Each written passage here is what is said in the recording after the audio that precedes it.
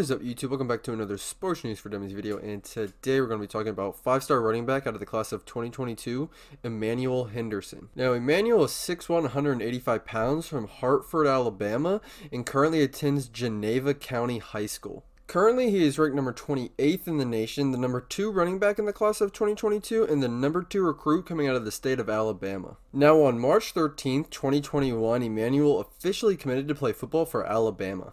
So here is what recruiting analyst Gabe Brooks had to say about Emmanuel. He's a taller, longer framed running back with lean athletic build that should foster ample bulk addition in college. Three sport high school athlete who plays basketball and runs track.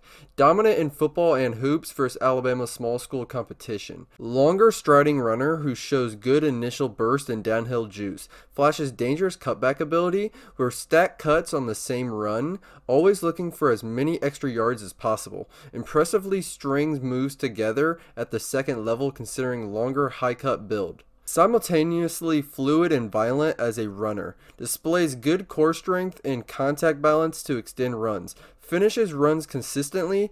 Played snaps at running back, receiver, quarterback, and outside linebacker as a junior. Natural pass catcher and limited opportunities. Adequate top end speed, but still has room to improve. Potential in that category should be high given frame. Gets bounce happy at times, which is likely at least in part to individual dominance for small school competition.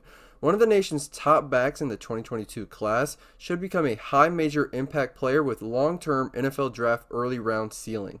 So he has a lot of stats to read out. So instead of wasting all of our times, I'm just going to be posting them on the screen right now. It's his freshman and sophomore year stats. Pause the video if you need to. Now with that, we've come to the end of the video. I just want to let you guys know I've been super busy, wrapped up in school. Uh, recruiting's kind of been dead as well. So uh, that's a those are the two biggest reasons why I haven't been posting the last like two weeks. But I promise you guys, I will be back and posting regular videos pretty soon. Um, I'm not going to tell you guys exactly right now, but in the next couple of weeks, I will be getting back on my grind. You'll be seeing daily videos.